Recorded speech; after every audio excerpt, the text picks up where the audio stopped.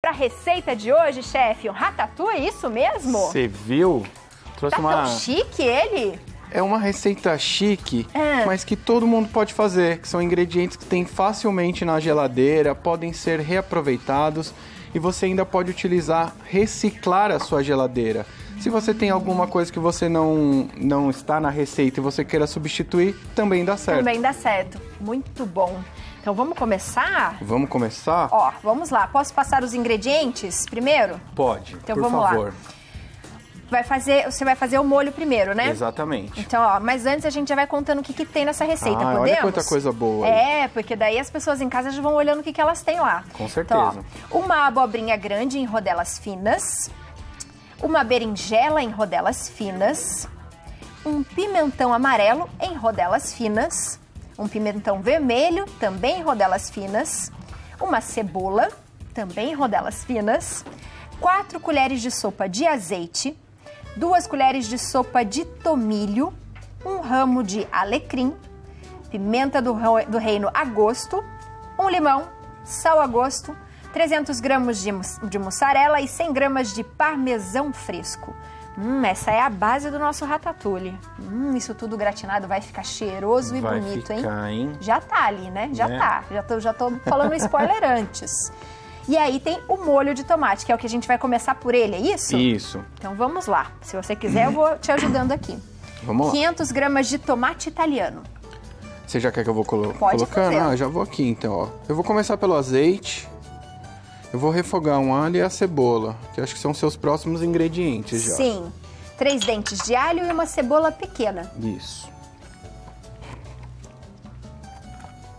A semana passada a gente recebeu os chefes e todos eles falaram: não economize na cebola e no alho, né? Porque eles são a base da Eu nossa acho receita. que é a base de qualquer culinária, nem só brasileira, né? Na francesa usa muito, apesar da francesa ter a característica da manteiga, é. mas alho e cebola, com qualquer receita salgada eu digo que dá certo. Muito bom. Ó, então alho a cebola, deixa esquentando aqui. E os, eu decidi para começarmos pelo molho, é. porque a gente pode ir dando andamento na nossa receita enquanto a pessoa em casa, por exemplo, se ela estiver acompanhando e quiser fazer junto, ela vai fazendo o molho, e aí você vai cortando uma berinjela, vai fazendo uma abobrinha, enquanto isso o seu molho vai apurando e vai dando mais sabor ainda para sua receita. Legal. Ó, dá uma boa refogadinha, não precisa ser até dourar. Então, ó, começou a murchar um pouquinho a cebola. Já podemos acrescentar o nosso tomate.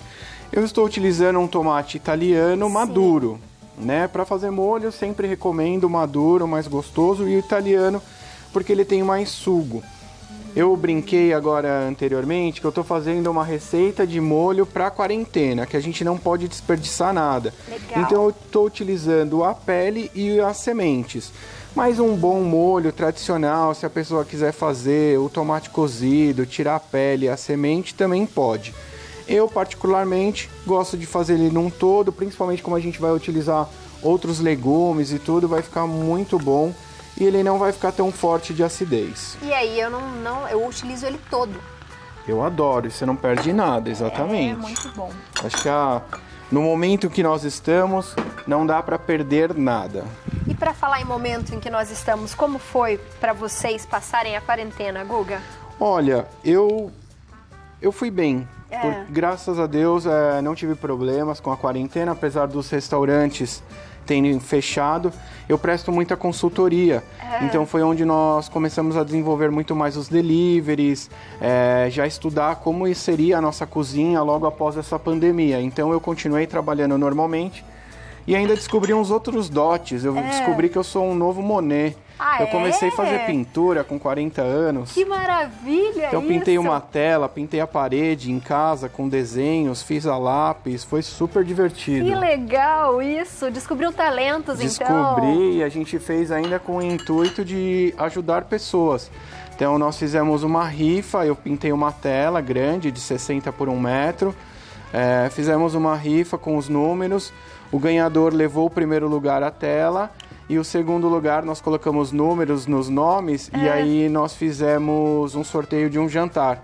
Então essa semana, provavelmente sexta-feira, estarem entregando a tela e o jantar para os felizardos Que ganhadores. legal isso! E ainda ajudamos uma instituição do de Santo André com crianças carentes que nós doamos uma parte da rifa para eles. Então nós ajudamos todo mundo, todo mundo ficou feliz, ganharam Que um legal. quadro, ainda ganharam presentes e ajudamos o, o pessoal do, da instituição. Foi muito legal. Descobriu talentos, provavelmente ficou muito mais em casa, né? Do que antes, porque antes quase não Tivemos ficava. que ficar, exatamente. Ó, legal. Enquanto a gente deixa aqui o nosso molho, eu deixei Ah. até ele um fogo médio, ele vai começar a derreter o nosso tomate e aí a gente pode dar uma adiantada no nosso ratatouille. Vamos O que, lá. que você acha? Podemos. Então aqui, ó, É. eu já deixei tudo fatiado. A única coisa que eu não havia fatiado antes, a berinjela, A até berinjela. pra gente demonstrar, e também por causa de ela não escurecer, né? A Legal. berinjela, ela tem até na nossa receita, ó, tem o suco de limão. O suco de limão seria justamente para se eu tivesse cortado o meu ingrediente antes, você poderia ter deixado a berinjela de molho na água com o limão perguntar. e aí ela não escureceria. E eu sempre posso deixá-la com limão, não só água, né? Pode deixar a água e o limão tranquilo, que o limão com acidez não vai é, deixar ela escurecer. Se por um acaso você não tem limão, pode pôr umas gotinhas de vinagre. Também funciona. Legal, Guga, boa. Então, ó, aqui uma faca bem afiada, fatias. Não precisam ser muito fininha, transparente, mas também não queremos fatias muito grossas. Então aí grossas. meio centímetro, meio dedinho, vamos utilizar aí uma, uma medida da dona de casa, fatias tradicionais aí, ó.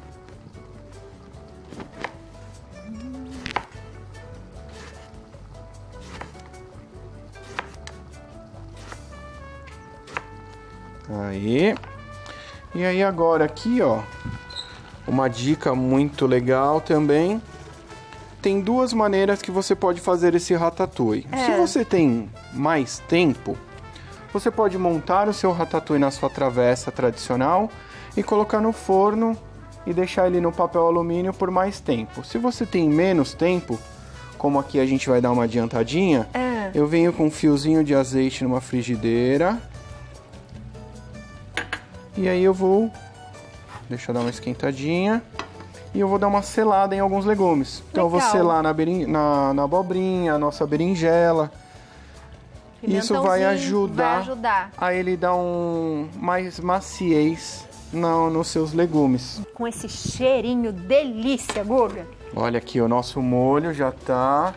Ai, e eu venho bonito, com hein? agora o nosso chimichurri. Também pode ser a gosto, eu coloquei uma colher, essa colher tava bem cheia. É, a gente faz o nosso temperinho aí. Olha, eu adoro temperos. Eu mandei fazer na minha cozinha, assim, ó, a parte É. de baixo iluminada aqui, um vão que eu coloquei 38 potinhos de tempero. Uau! Adoro, adoro. O que, que você mais gosta? O que, que não pode faltar, além do, do da Olha, cebola, do alho? O que não Uma pode vez faltar? eu escutei um chefe conhecido falar que não pode faltar sal. Sal. Ah, Sal é um tempero assim fundamental, porque você consegue regular tudo. E eu adoro chimichurri, é um tempero argentino que eu me apaixonei, fui pra lá e gostei muito. E gosto muito de um tempero bem moderno, que é, fumaça em pó. fumaça em pó? É um temperinho que você consegue dar um gostinho de defumado na sua comida sem precisar levar ele na churrasqueira. Ó, Olha aqui, isso. ó, eu coloquei a água. Ah. Eu vou dar só o exemplo para quem estiver em casa e ver como seria colocar a berinjela. O legal é que, por exemplo, se eu fizer isso, é, na hora que você for grelhá-la, ela vai estar com umidade. Então, antes, dá uma secadinha nela, deixa numa peneira, porque senão a frigideira vai espirrar Vai inteirinha. espirrar. Aí aqui, ó, vou colocar algumas. Eu vou fazer algumas aqui e a gente vai montar uma parte com algumas grelhadas e uma parte como sem grelhar, para as Tá. pessoas poderem ver em casa a diferença dos dois. Legal. E aí, cla- caso ela queira partir para o lado que ela tem um pouco mais de tempo, ela só deixa aqui, mas a montagem é basicamente a, mesma. Perfeito. Então, ó, Se tiver o tempo e quiser deixar no forno, quanto tempo mais ou menos? meia hora, 40 minutos, até que os legumes comecem a ficar mais macios. O ideal é que você coloque o papel alumínio antes, deixe ele dar uma boa amolecida e aí depois você tira, coloca a sua mussarela para levar ele para gratinar. Se não você colocar com papel alumínio, ele vai acabar grudando. Então aqui, ó, bem rápido, só uma passadinha Só uma pela passada. É bem Até porque tá tudo mais fininho, ele vai pegar o gosto mais rápido, né? Isso. E aí aqui tem o azeite, então a gente vai colocando um fiozinho de azeite e vai separando. Vou colocar aqui na minha própria tábua, ó, porque aí eu já coloco a nossa abobrinha também. Pra dar é uma legal que a gente seladinha. tá usando aí só legume, hein? Que maravilha. Só legumes, dá pra fazer todos os gostos. Vegetarianos, veganos. Quem é carnívoro também pode fazer isso como um acompanhamento. Aham. Muito Aí bom. aqui, ó, minha abobrinha também, mais um fiozinho de azeite. Olha que delícia, o nosso molho tá cheiroso, hein? Tá cheiroso e tá bonito. Você tem percebido que as pessoas elas têm mudado um pouco os gostos pela alimentação? Por exemplo, a gente está fazendo aqui com vários legumes e tal. As pessoas têm pedido mais isso para vocês? Tem. Tem, né? Principalmente quando eu monto cardápio. Agora eu monto bastante cardápio para restaurantes, né? Tô até montando um agora que vai inaugurar, provavelmente meados de outubro, comecinho de novembro. Pessoal do Quintal Del Carmen, lá de Santo André, ó, vai ser uma casa maravilhosa. Bonita. Estão todos convidados a conhecer aí. Hum, bom. E um dos nossos pensamentos agora é justamente esse, que não pode, por exemplo, apesar de ser uma casa que vai ter uma churrasqueira de 6 metros de comprimento, Uau! a gente está pensando também em ter legumes e peixes. Então, é, tem vários tipos de vegetarianos, né? Tem vegetariano, apesar que eu falo vegetariano é legume, mas tem vegetariano que fala, sou vegetariano, mas eu como peixe. Aham. Então, a gente está pensando nisso. Vai fazer um cardápio realmente bem equilibrado, com é, uma parte de, de vegetais na grelha. Vão ter alguns petiscos que sairão da cozinha também com, com a parte de vegetais. Legal. É, hoje em dia, o que está mais sendo procurado é uma gastronomia saudável. Né? Então, apesar da gente ter, é, como é um bar, a gente não poderia fugir da característica dos principais petiscos, né? Frituras. É, nós vamos ter uma Buffalo Wings com molho de pimenta, que vai ser bem especial, mas a gente está puxando também para uma gastronomia saudável. Então a pessoa que for lá, ela vai encontrar tanto a parte mais de fritura, como também os vegetais, tanto na grelha, como vai ter um, não posso dando muito detalhe, né? Não senão pode. perdeu a é, graça. senão perdeu né? a graça. Mas tem muita receita boa para fazer, né? muita. Bom, ó, É. grelhamos os nossos legumes e aí agora começa a nossa montagem, né? ó, Hum. Antes do gratinado. Eu preparei uma montagem ó, toda na vertical, Sim. porque fica super bonito e isso faz com que o, o líquido que tiver embaixo vai cozinhando legumes e vai deixar diferentes texturas. Boa. Então, parte de baixo vai ficar bem cozidinha, bem molinho, no meio vai sentir um pouco e em cima vai estar mais al dente. Eu sempre que eu faço uma receita, eu gosto de brincar com essas diferentes texturas. Eu acho que você sente na boca aquele prato, consegue sentir o paladar um pouquinho mais al dente, a cremosidade. Legal, o então eu gosto daquilo muito. que você tá comendo. Muito bom. Bom, aqui já estamos né, de luva, vou começar a minha montagem, ó. Pode ser da maneira que a pessoa preferir. Então, eu falei das rodelas de cebola, porque ó, eu vou colocando ela aqui e empilhando. Então vai uma berinjela, uma abobrinha, uma cebola. Se você não tiver o seu pimentão sol amarelo, vermelho, tem verde, pode utilizar o verde também. Eu gosto sempre de utilizar o vermelho e o amarelo porque eles têm um paladar um pouco mais fácil, né? Não deixa aquela ah, sensação de indigestão. Mas é, morei no México muito tempo, eles usam bastante o verde lá e também é delicioso. E aí você vai brincando aqui da montagem que você preferir. Ah, Eu quero uma cebola má. Gosto mais de cebola, ponho mais cebola. Gosto mais de berinjela, ponho mais Põe berinjela. O que mais eu poderia colocar aí de legume? O que você sugere? Que Olha, também dá uma pra gente batata fazer. fica bem gostoso. Ah, É, quem gosta de chuchu, giló, aí vai da criatividade. Pode brincar com tudo que tiver na geladeira. hum, bom. Aqui, ó, o pimentão.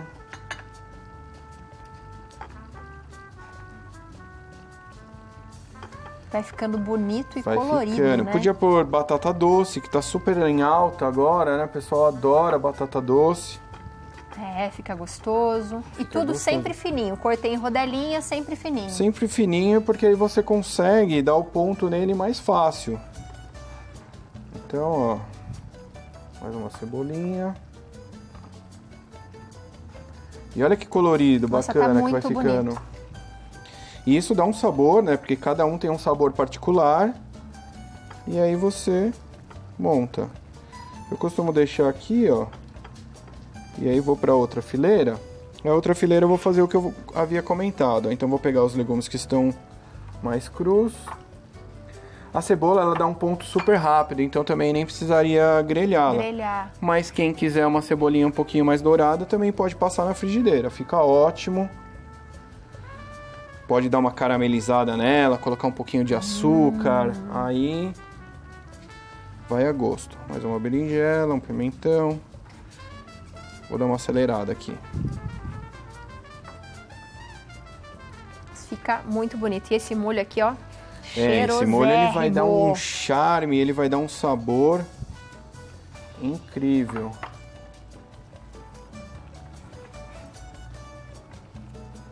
Tá vendo? Não tem segredo, é um prato super mesmo. bacana para você fazer com as crianças. Então corta os legumes para eles não terem o contato com a faca, né? Não, não correr o risco. E aí deixa eles montarem, monta uma travessa enorme quando você tem a família lá. Deixa a criança brincar, que eu adoro pôr criança na cozinha aí. Eu acho que é, desenvolve esse senso de gostar de legumes, de gostar Exato. de, De experimentar de coisas experimentar novas, coisas é? novas. Você sabe que tem um tem um canal, um menininho que tá fazendo uns vídeos no Instagram. É. Ah, eu esqueci o nomezinho dele, mas é um bebezinho, a mãe que faz. E ele tudo que ele vai fazendo, que a mãe vai dando pra ele, ele vai experimentando. Olha que fofura. Então é muito bacana. Eu falo que as crianças, né? Tem muita gente que fala assim: ah, mas meu filho não come abobrinha. Alguma vez você deu abobrinha pra ele? Ou você deu nuggets? Uhum. Ah, né? Eu gosto de nuggets. Ah, mas então como que ele vai aprender a comer abobrinha se ele não gosta? Exatamente. Então, ó, É. bem colorido. Montou. Montou aqui. Aí, um dos nossos segredinhos É. é vir com as nossas ervas. Então, ó, por exemplo, eu não coloquei todo o manjericão ali. Ah, pra colocar E aí eu venho algumas folhinhas aqui.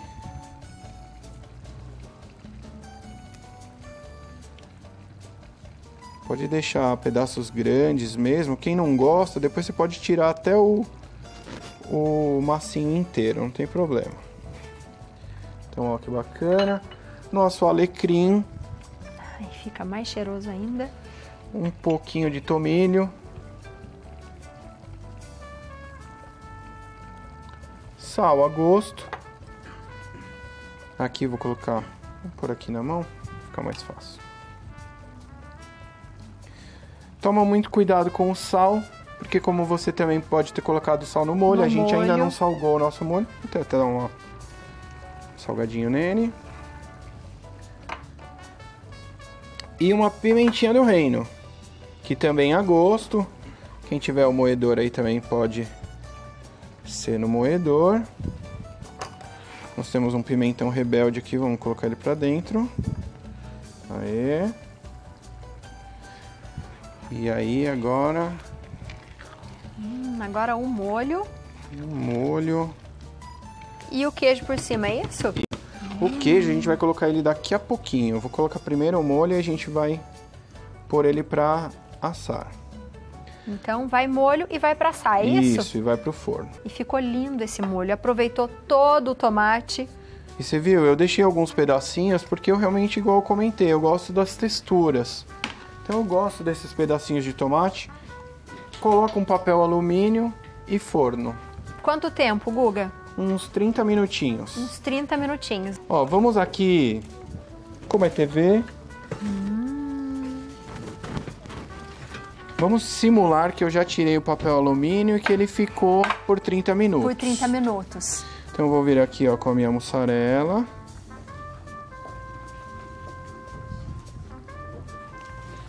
Pode aí deixar bem caprichado. Pode caprichar na mussarela.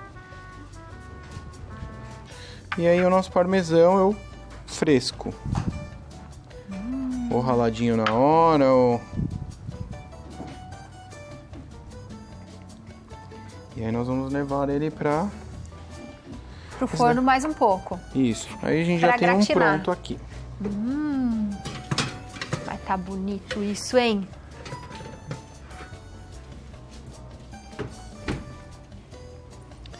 E aqui, ó, como eu ainda nesse forno não deixei alta temperatura em cima, a gente dá uma gratinada nele com o maçarico. Mas em casa é só a gente sentir Só deixa ali ele e no forno até ele dourar. Que bonito, Guga. E tá Olha. pronto. E tá pronto. Rápido, simples. Uma receita super prática. Muito E- prática. 100% reaproveitável também. Porque, por exemplo, servi ele no almoço.